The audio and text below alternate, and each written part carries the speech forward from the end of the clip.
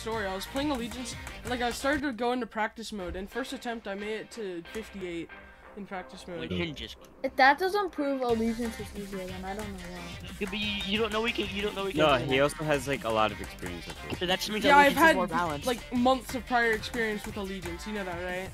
that also just means I that know, uh, but Allegiance it's is more easier. balanced, and Aki, you know, Aki could be less balanced than Allegiance. I'll be back. That's what the pre-drop is like really easy uh, compared to the drop in Allegiance. Except like the one ball. The only hard parts of the pre-drop is 35 and 40. Yeah, wait, 35 is like that one ball timing.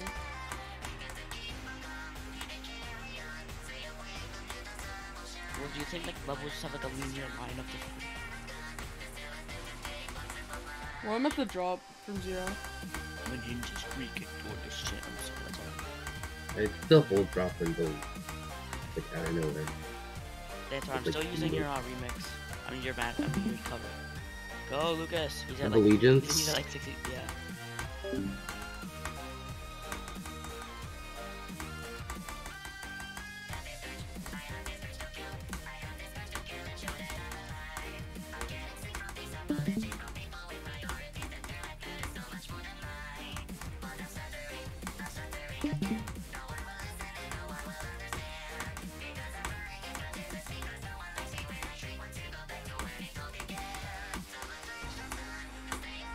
I beat Oh it. my god, bro. that was funny.